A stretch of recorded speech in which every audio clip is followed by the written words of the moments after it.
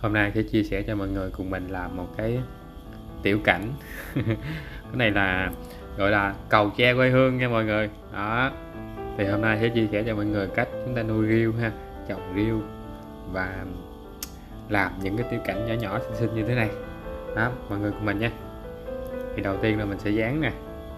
Dán à, bố cục đá trước sắp xếp cầu ha, bờ sông này kia rồi à, đối với um, trồng riêu và trồng cây sam hương á, thì mọi người ờ, ưu tiên cái khu vực mà mình trồng á, là nó phải thoát nước nha mọi người ha. lót nền bằng xỉ than đất nung đó cho nó thoáng mới được sam hương là phải thoáng mới được với cái tiểu cảnh này thì mình chọn một cái cái dạng cây ha. à, có một cái chực và một cái nhánh bay thì nó mới hợp với cái tiểu cảnh này nha đó à, cái à, nhánh bay này á, thì mình sẽ bây giờ thì nó nó còn ngắn quá sau này mình sẽ nuôi cho nó dài quá. Cái nhánh bay này nó phải dài ra phủ phủ với cái cầu quá thì nó mới đẹp. Còn bây giờ thì à, tạm thời ha tạm thời thì mình cứ à, cứ chọc vậy trước đi. Đó.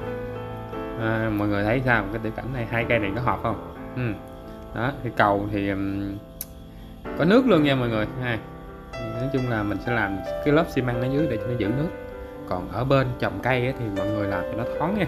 Cho nó nó phải thoát nước mới được. Mình phải ngăn nó làm hai vậy đó. Thì để mình đi kiếm view nè. Đó trang trí vô. Nói chung là làm những cái này nó đơn giản lắm mọi người. Ai cũng phải làm được nha. Quan trọng là mọi người có một cái à, thời gian. Trước mắt phải có thời gian cái đã. Đó, xong rồi có những cây mà nhỏ nhỏ mình dâm cành hoặc là mình ương lên đó, thì mình nuôi để dành mình làm. Ừ thì nói chung là đá này kia thì mình cũng ờ, đi lụm này kia rồi về mình làm thôi.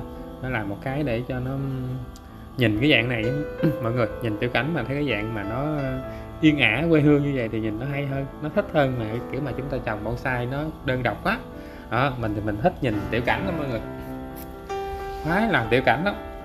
Nhìn tiểu cảnh nó hay lắm. Nó có cái gì đó nó nó bao quát được tất cả ha. Có cầu nè có sông nè đó cây cỏ núi non. Nhìn rất là bay bổng.